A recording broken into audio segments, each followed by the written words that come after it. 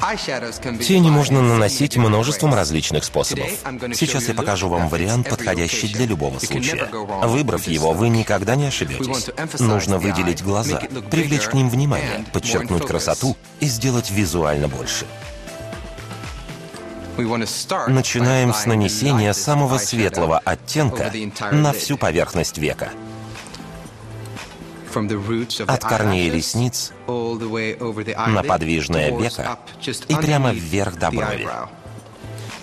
В уголках глаз растушуем границу перехода, чтобы она была незаметна.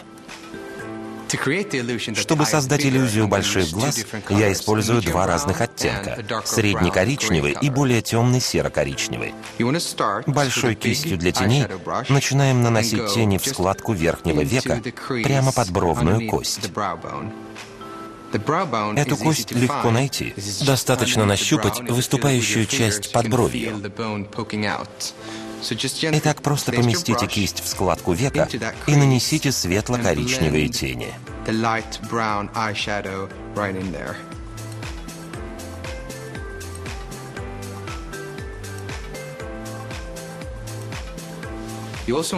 Тем же оттенком тени подчеркните нижнее веко, чтобы форма глаза была завершенной и круг теней как бы замкнулся.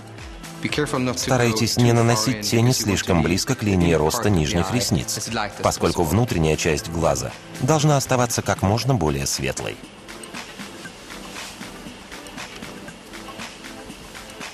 При нанесении самых темных теней старайтесь уйти как можно выше, продвигаясь вдоль линии роста ресниц.